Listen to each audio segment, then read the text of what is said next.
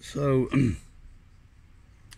when I'm outside the uh, place here, you know, when little kids pass with the mums or dads, whatever, and I say hello to them, be friendly.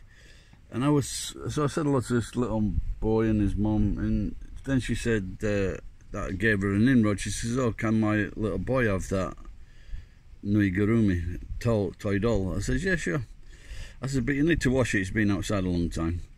And so I gave him the little Minnie Mouse, Minnie Mouse Lives Matter, and uh, he walked off with it, happy as can be. Then I saw him come back this way. Still got the doll in his in his hand, and I looked today. She'd returned it. They've returned the doll. What is it? You know why did they return the doll? Eh? I told her she should wash it. Uh, the, uh, to because it was Minnie Mouse. uh, To be honest, I thought the little kid was gay. Maybe that was it. Thanks for watching. Bye bye.